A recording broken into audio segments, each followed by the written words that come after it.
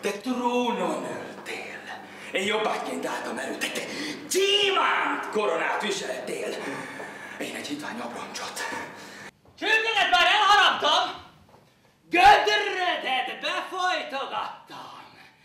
Heróka!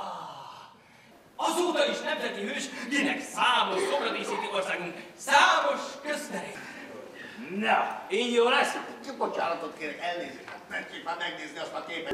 Mr. Condom, ne hallgatjék, hogy itt és most a kényszer helyzetbe kerültem bizonyos előben nem látott valuta nehézséget. A